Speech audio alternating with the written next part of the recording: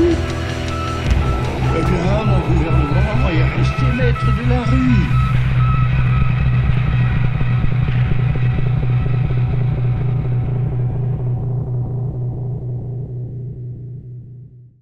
Moi, je suis, je suis issu d'une famille euh, euh, très protestante. Je fais partie d'une jeunesse protestante.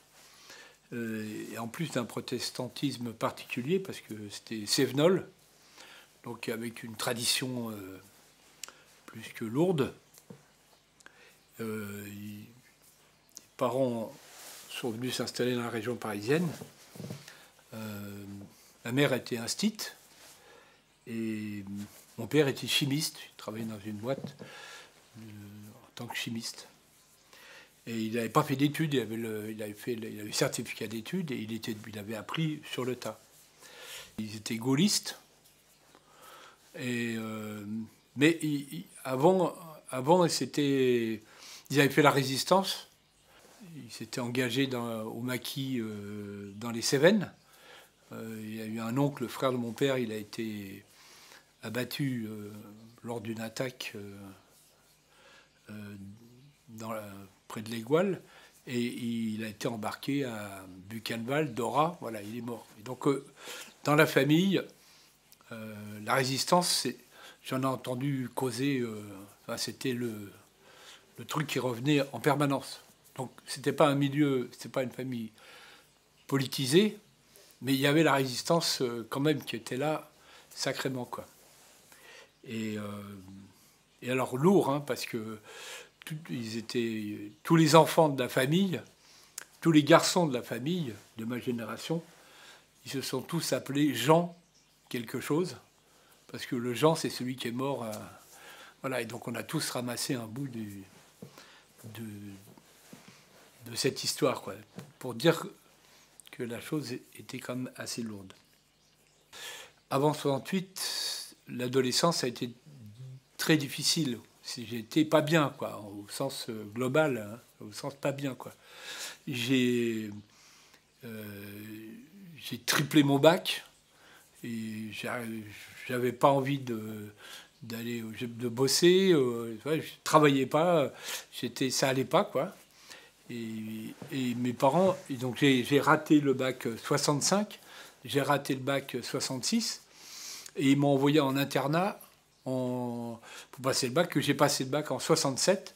Je l'ai eu avec mention. Ils m'ont envoyé en internat à Bédarieux. Le fait d'avoir euh, triplé le bac, euh, d'être arrivé en 67, septembre 67, je suis rentré à la fac de Sancier, Sorbonne, en géographie. Finalement, c'est ça que j'avais décidé de faire. Mais de fait, en histoire, géographie. Et donc, je me suis retrouvé à cet endroit-là. Euh, voilà. Et après, je me suis dit, mais c'est absolument dément d'être arrivé, euh, d'être arrivé à l'endroit où il fallait. Euh, que tout ce truc douloureux t'amène au moment où tu prends, où tout explose et que tu es à l'endroit où ça pète. Quoi. C'est, pour moi, c'était quelque chose de. Alors pour moi, c'était quelque chose de fondateur. Quoi. Moi, je n'étais pas militant avant, donc je, me, je me rappelle euh, une conscience antiraciste très forte. Mais euh, je n'allais pas au Mali Vietnam, je ne comprenais rien à l'histoire des maoïstes. On parlait des maoïstes, je disais, mais comment on peut être maoïste quoi? C'est un truc, ça n'avait pas de sens, quoi. Je comprenais pas du tout, quoi. Et euh, donc j'ai pas vu, j'ai pas, j'étais pas les dans la préparation de, de 68, les manifs, choses comme ça. Les deux, les deux, le, signe que j'ai eu, c'est un jour en fac. Alors c'était une génération, on était beaucoup en, classe tout le temps. Hein, c'était le baby boom, on était très nombreux. Et euh, euh, une fois en cours, as un amphi il y avait un étudiant de l'UNEF qui était venu et qui avait fait un topo devant l'amphi à Sancier. Et euh, il arrive, il fait un topo, alors je me rappelle, dans cet amphi, il y a un quart des étudiants qui, pourra passer dans, l'année supérieure. Les autres, la sélection, vous allez vous faire dégager. Quoi. Moi, je traînais euh, trois bacs derrière moi. Bon, j'étais liquide, quoi. J'ai dit, oh, faire, euh, bon, la, cata. Et à ce moment-là, il y a le prof qui arrive. Euh, je me rappelle son nom et tout. C'était un prof de géomorphologie. Il monte, monte sa tribune. Il y avait l'étudiant. Et il arrive et paf, il lui met une baffe. Mais spectaculaire, quoi. Une baffe. Tout l'amphi, plein, hein, a fait Oh Comme ça, le choc, comme si tout le monde l'avait reçu. Tout le monde s'est levé. On est tous sortis. Ça, ça devait être en février, mars. Voilà. Sorte de. de le mandarin qui. Voilà, qui. Et, la réaction collective d'insupportable, quoi. C'était le. J'ai eu ça, quoi, ce petit bout. Mais c'est tout, quoi. Pas. Pour moi, et alors, j'ai entendu parler des. Parce que tout le monde a entendu parler des événements du, du, 22 mars, ensuite euh, euh, du, 3, 3 mai, 4 mai, euh, etc. Donc on, en parlait, la, la fac, est, puisque c'était ma fac qui était fermée, etc. L'arrestation et tout ça. Je, me rappelle dans le week-end euh, donc ça devait être le 4, samedi, 4, 5, oui, samedi. Je suis allé euh, voir un copain qui s'était cassé la jambe, euh, un copain de, des jeunesses protestantes avec qui on était, quoi. C'était un copain. Je me rappelle son nom et tout. Il était couché, il avait son jambe dans le plat, et on était à plusieurs à se foutre de sa gueule et tout. Et donc il racontait son truc. Et on a discuté entre nous de la manif de lundi. On a dit, qu'est-ce qu'on fait? On y va? Et donc elle dit ouais, on y va, bon, on y va, comme ça. Et ben lundi, j'y suis allé. Mais le copain avec sa jambe cassée, je ne l'ai jamais revu. Voilà, c'est nos vies se sont complètement euh, séparées à partir de ce moment. Ça a été le, choc qui fait que les destinées ont, complètement volé en éclats. Quoi. Et euh, moi, je suis allé lundi à la manif je me rappelle, j'avais un. C'était un caban, un truc comme ça, j'avais rien. C'était ma première manif, quoi. Alors, bien sûr, on s'est foutu, on nous a mis en chaîne. Tu te retrouves en chaîne et tout. Tu dis, oh là, mais je suis en chaîne, c'est dangereux, ça, ça dépend des autres, quoi. Ça va. On s'est fait euh, confrontation face aux flics. Euh, il y a ensuite euh, manifestation autour du quartier latin, enfin on a tourné tout autour, toute la journée. À la fin, sur le Saint-Germain, ça a commencé à, arracher les, pavés, démonter les grilles, et puis l'affrontement à les flics. Et je me souviens plus, je sais que je me suis fait taper fortement par. Ils avaient des matraques, ils n'avaient pas des bâtons en bois, ils avaient des, matraques en caoutchouc. Enfin, euh, en pleine force, je, me suis fait taper sur le dos. À la suite de, je suis rentré chez moi. J'habitais en banlieue près de Montmorency. Je suis rentré, euh, j'avais euh, l'épaule euh, comme ça, quoi. Et puis ça m'a, ça refroidi. Je me dit merde. Lundi, de mardi, je ne suis pas allé, je ne suis pas allé aux manifs. j'ai passé la nuit à écouter le, les manifestations, l'affrontement. Les, il y avait, c'était européen, il y avait une série de, radios qui racontait et qui étaient les, flics, étaient les, journalistes qui étaient en direct, qui disaient oh, attention, un pavé qui passe. Oh, enfin, des choses qui rendaient la présence. Il n'y avait que la radio, hein, ce qui est comme. Euh, euh, et donc, j'ai passé la nuit là-dessus. Je me souviens euh, de, d'une ambiance extraordinaire, du marché. Il faisait beau. Il a fait beau. le mois de mai était vachement beau.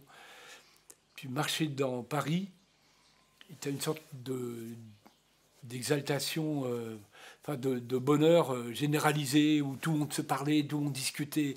Il y avait des, dès qu'il y avait un regroupement, ça parlait, ça parlait dans les gares, ça parlait, etc.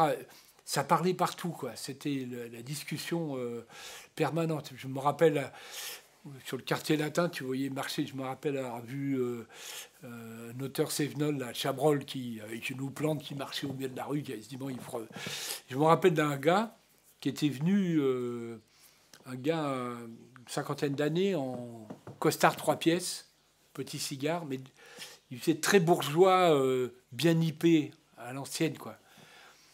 Et donc, il, il, m'a... C'était au milieu de la nuit, hein, il m'approche, il me dit... Euh, vous êtes étudiant euh, J'ai dit oui. Et il me dit, venez, je, vous invite à prendre un café et vous allez me raconter. Quoi. Il m'a emmené, je suis allé dans un café et il m'a demandé racontez-moi. Et donc je me rappelle avoir. Mais alors je me rappelle pas ce que j'ai raconté, je vais dire des conneries monumentales, mais je lui ai parlé, quoi. Et, et, lui a écouté tout le temps. Je ne sais pas qui c'était, mais c'était marrant parce que d'un seul coup, il y avait des choses qui étaient possibles qui n'existaient pas avant, quoi. Qui étaient de fait que des choses. Euh, voilà, les frontières de, de classe, de catégorie, tout ça, ça ne ça n'existait plus. Il y avait euh, le, les choses qui, qui se produisaient. Euh, c'est vrai que pendant tout 68, ma question c'était qui a fait ça? Je n'arrivais pas à imaginer que ce soit un truc spontané. Je dis c'est pas, pas possible. Il faut qu'il y ait quand même des forces qui est voilà. Je cherchais qui a fait ça et du coup la discussion été s'est posée rapidement sur euh, il faut se rattacher à, un groupe qui a quelque chose. Donc euh, euh, la JS, les Mao, bon les Mao c'est moi c'était culturellement même c'était c'était impossible parce que c'était les c'était servir le peuple, c'était c'était cet aspect et, ça ne rentrait pas philosophiquement c'était impossible pour moi, quoi. Pour moi, c'était très catho, quoi. C'était chrétien, quoi, comme, euh, comme démarche. Et je ne, j'avais un refus de ça, quoi. Quand on parle de la Sorbonne avec euh, la cour de la Sorbonne, avec tous les, tous les débats, c'est clair que chacun se posait la question de savoir, surtout pour ceux qui n'étaient pas militants avant, c'est où où on allait militer, quoi. C'est vraiment ça la question, quoi. Et donc, euh, moi, j'ai participé à des réunions du JCR pendant mai 68, là, pendant tout mai-juin 68, j'ai, voilà, j'ai fait partie de la génération qui, euh, qui a rejoint, euh, et, j'ai, adhéré en, en, je crois que c'était en 69, euh, c'était au début 69, je suis rentré à, la LCR. Quoi. Et bon, moi, je me suis un peu accroché à, à, militer en, en banlieue dans ces villes euh, qui étaient la ceinture euh, rouge. Hein, j'ai commencé à Argenteuil, ensuite à Épinay, et rapidement on s'est euh, ancré sur Saint-Denis. Et depuis, j'ai toujours milité sur Saint-Denis, quoi, de façon continue. Après un mois passé, à un moment donné, il y a eu plus d'essence, tout ça, mes parents ne pouvaient pas. Bon, j'étais loin, puis je appelé de temps en temps, mais ce, mois complet a été un mois de d'extase quoi, de, libération quoi, complète quoi. Et quand je suis rentré, au bout d'un au bout d'un mois, comme il n'y avait pas de transport, j'ai appelé mon père, j'ai dit voilà, je rentre, je rentre, il vient me chercher, il vient me chercher à la gare du Nord. Moi, j'étais complètement changé. Au bout de marcher au milieu de la rue quoi.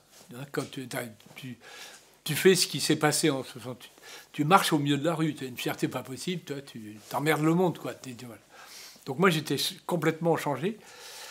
Mais mes parents aussi, mes parents étaient complètement changés, quoi. Parce que ils avaient euh, été bousculés aussi, et donc on s'est remis à discuter euh, politique. On a rediscuté les, filiations, euh, la guerre.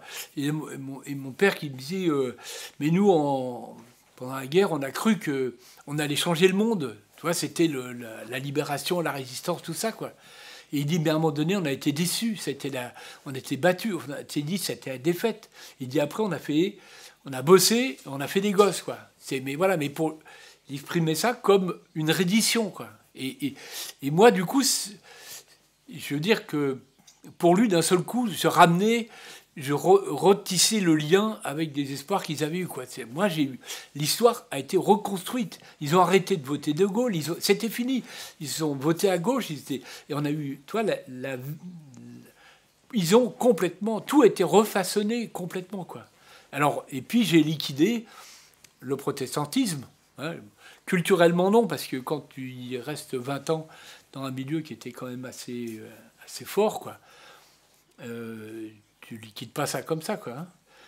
Comme euh, euh, moi, j'étais. Bon, on, a, on, a, on s'est vu. Il y a eu deux ou trois qui sont rentrés à la Ligue, hein, de, des jeunes qui étaient, avec moi.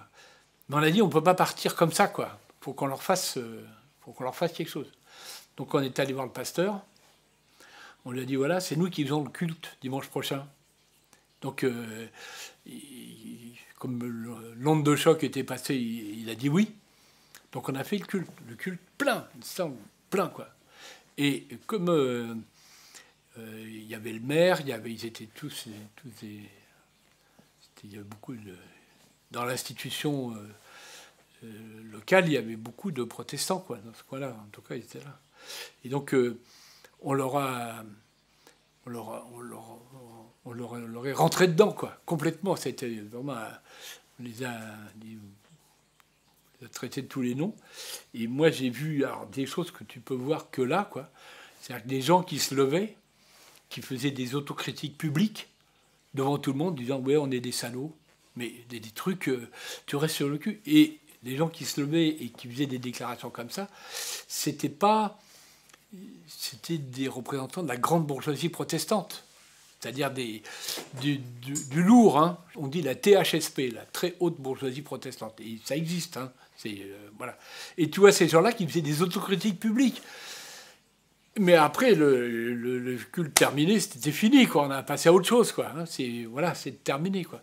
Moi, c'était fini. Pour moi, c'était terminé. Bon, allez, à ciao. Euh, pour moi, le, mai 68, ça m'a permis de reconstruire complètement. Et, euh, et à ce moment-là, c'était des coupages au couteau entre les Mao, les trotskistes, etc. Et moi, le, le le marxisme, ça, c'était ça, le, pour moi, ça avait une cohérence quoi, globale qui collait avec euh, les trucs sur lesquels je m'étais engagé avant. C'était, voilà, le truc. et donc là, c'était de. J'ai liquidé ce passé-là, quoi, complètement.